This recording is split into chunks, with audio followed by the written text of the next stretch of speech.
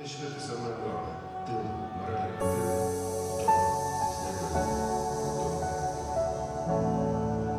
Հոգիզ երկելու է, քանի դեռ ողջ եմ։ Իոսիֆ Կոբզոնը այսօր էլ երգում է։ Ուրեմն այսօր էլ ապրում է։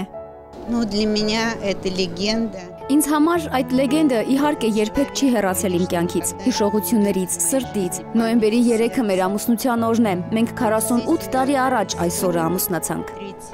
ноября. Կոբզոնը կուզեր ոսկե հարսանիքը կնոջ հետ նշել այնպես, ինչպես ընդունված է իրենց ընտանիքում, հավաքվել մեծ ու շքեղ վայրում, հրավիրել հարազատներին ու ընկերներին ու ու միասին վայելել քաղցր օրվա պտուղները։ Յա, իմ այսիմիա։ Ես եւ իմ ընտանիքը միշտ այս օրը ճոխ ենք նշել ընկերների հարազատների հետ եւ ահա իմ ընկերները, հայ ընկերները առաջարկեցին համեր կազմակերպել։ Ես իհարկե շատ ուրախ եմ այս օրը նշել այսքան գեղեցիկ սրահում, մեր սիրելի Երևանում։ Ամուսինս շատ էր սիրում այստեղ գալ։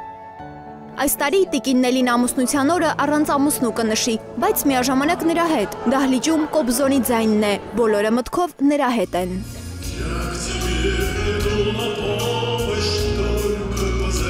Конечно, я нервничаю, как это все будет. Ես մի փոքր լարվում եմ, որ այս ամենը տեղի է ունենում առանց Իոսիֆի, բայց քանի որ ամեն ինչ այսքան գեղեցիկ ու կազմակերպված է, քանի դեռ նրան այսպես հիշում են, ուզում եմ ինձ եւ ամբողջ հանդիսատեսին հաճելի պահեր մաղթել։ Получить удовольствие.